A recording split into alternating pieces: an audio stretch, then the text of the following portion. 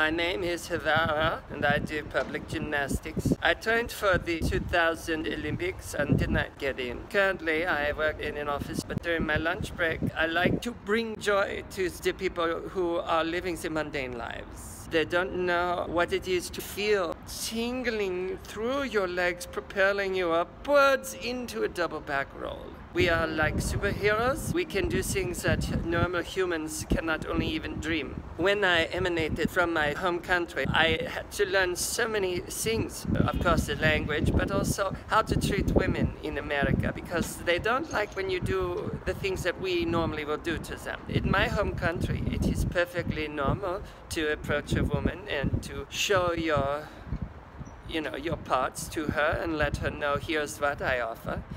But in America, it's not allowed. And I found this out very early on in, in a very uncomfortable way.